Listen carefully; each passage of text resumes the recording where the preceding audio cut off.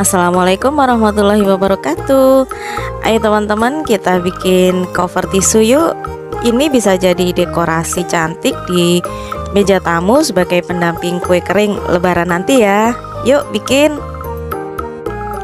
Pengen tahu lebih jelas lagi? Yuk mampir di channel youtube aku Diana Novianti.